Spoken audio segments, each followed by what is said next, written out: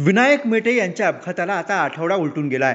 रविवारी पहाटे आमदार विनायक मेटे यांच्या गाडीला अपघात झाला आणि या अपघातातच त्यांचा मृत्यू झाला.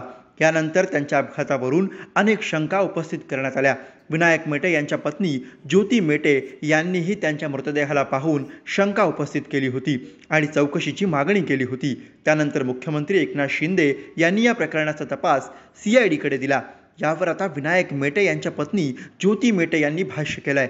ज्योती मेटे म्हणाल्या दिनांक चौदा ऑगस्ट दोन हजार बावीस रोजी मराठा समाजाच्या बैठकीकरिता जात असताना पुणे मुंबई महामार्गावर विनायकराव मेटे साहेब माजी विधान परिषद सदस्य तथा शिवसंग्रामचे संस्थापक अध्यक्ष यांचा अपघाती मृत्यू झालेला आहे. आणि त्या अपघाती मृत्यूची चौकशी शासनाने सीआयडीकडे दिलेली आहे. त्याबद्दल समस्त मेटे कुटुंबीय आणि शिवसंग्राम परिवार शासनाचा आभारी आहे.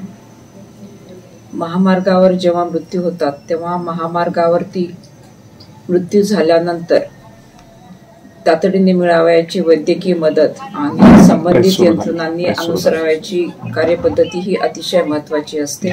जेणेकरून अशा दुर्घटनेमधून कमीत कमी किंवा शून्य मृत्यू होतील. तेव्हा शासनाने अशा बाबींची दखल घेऊन काही कार्यवाही करणे किंवा उपाययोजना करणे नितांत गरजेचे वाटते आणि शासनाने त्याची दखल घेऊन पुढची कार्यवाही करावी. त्याचबरोबर अशा कार्यवाहीमधनं जी काही ठोस उपाययोजना करण्यात येईल त्या ठोस उपाययोजनेच्याद्वारे भविष्यामध्ये होणारी जीवितहानी टळेल आणि समाजाच्या ज्या बैठकीसाठी साहेब जात होते त्या समाजाच्या बैठ समस्यांची पूर्णपणे सोडवणूक होणे ही साहेबांना खरी श्रद्धांजली ठरेल असं माझं मत आहे. या घटनेवर तुमची ही प्रतिक्रिया कमेंट बॉक्समध्ये लिहा.